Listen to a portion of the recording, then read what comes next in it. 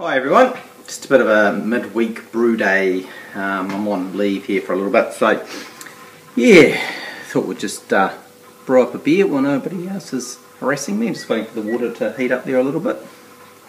Sorry, not very good light there. Yeah, so um, yeah, bit of, been a bit of a funny old week for everyone. I suspect with this, the passing of Paul and um, um, that sort of stuff happening. But yeah, anyhow, I'm going to be joining in on Sunday morning here and, and a supercharger um, in honour of the great man himself. Um, yeah, so today I'm just going to brew. I'm brewing a low alcohol, lower alcohol um, um, pale ale. So again, around that 3.7. So um, yeah, so for the grain bill, I, I, tend to use about two kilo of Gladfield's malt, uh, 1.4 of um, Munich malt, and around 300 grams of um, light crystal in there. And uh, almost, yeah, too right. That's the neighbour just giving me shit about that. January brew. Centre's hot. No, it'll be a um, no, just below low session pale ale. My brother's just gotten into brewing, so Oh, is it? yeah, I'm trying to. He's drinking it as well, so I'm having to bloody well. Um, yeah, so I'm doing a weekday brew, which is not like me. I was going to say, it's a boost. Yeah, no, no, we've got we're getting the house recarpeted tomorrow.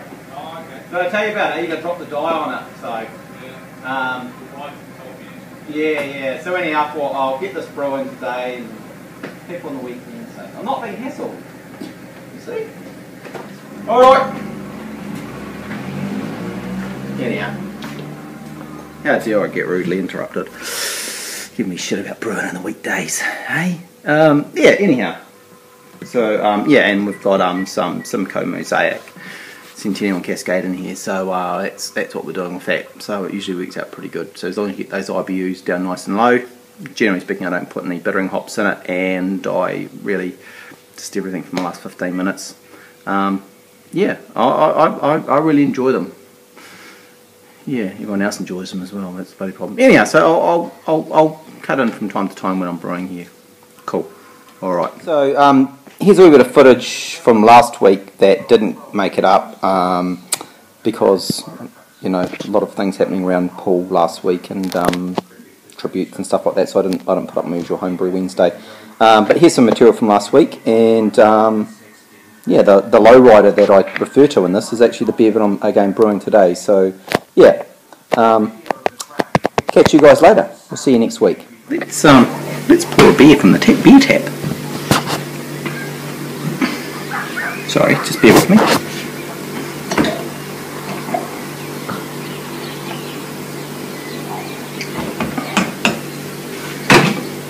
A little bit frothy, just uh, just freshly carbed. This is my low rider. I call this my low rider I, low rider IPA. 3.7, heaps and heaps of hops happening in here. Nicely balanced little beer. Fantastic, crisp and refreshing. It's what you sort of need for this time of year. Um, so yeah, just been doing a little bit of brewing. Um, other than that, yeah, not too much else happening actually, really. Um, in the fermenter here, the other fermenter, I've got another beer called Arrogant Bastard. Don't know if you've ever had that before, but it's a, it's a uh, clone. I don't really like clones, it's a clone of Stone Stone Brewing, um, and it's it's about it's in the seven percent, but it's made up of hundred percent Chinook hops. So um, you'll have a little taste of that in the coming months.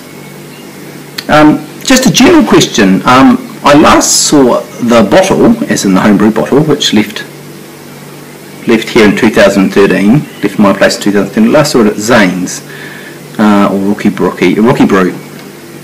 So um, if anyone knows where it is, uh, I'm not particularly worried.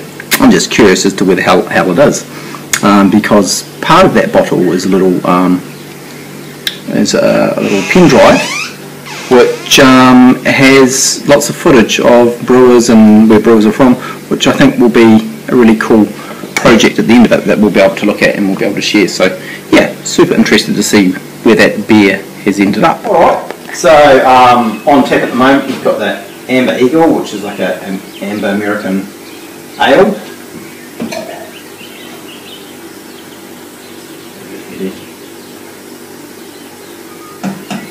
Got that. Beautiful. Lots of lovely malt happening.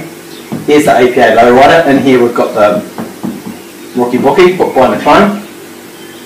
And of course, a bit of a whip beer over here. Beautiful. Sorry, I've just changed my gas, so all my pressures are always funny at the moment. If you see, if you come over here, come over here, all of my pressures are just a little bit high. So what I can do is I can fix that so my whip beer is a wee bit high. Do that. Where's my whip beer? Turn, turn it off here. Gas it.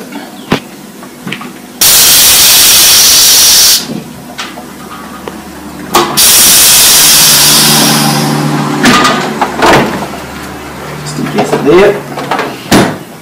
Lock it up. Open her up. Now my gas is down real low and I just